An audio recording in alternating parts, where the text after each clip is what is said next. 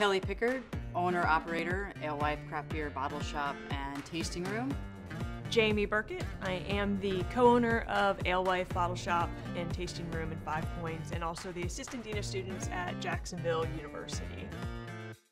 I've always just had this entrepreneurial spirit. I just posed the question to Kelly one day, if you could open any business, what would you open?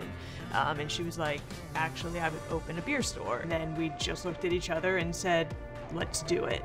As we were looking where to, to open the business, we knew that DC was unfortunately a, kind of a non-starter for that. Uh, we just weren't financially going to be able to afford it. And we knew we wanted to get further south and started to look at other cities. Coming from DC, it's a, it's a very diverse culture and we knew moving down south we wanted to find an area that would ground us in that as well. And coming to Jacksonville, knowing that there were pockets of communities with different feels and, and different uh, vibes to it, it was important for us to find that, and, and we found that in Jacksonville.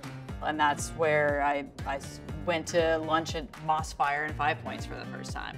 well, what is this place in Jacksonville? For me, being in Jacksonville, I got to see a different side than, than what I realized. It actually had the things that we were looking for. It had the culture, it had the museums, it had the outdoors, and then it also had the business opportunity that we couldn't find elsewhere.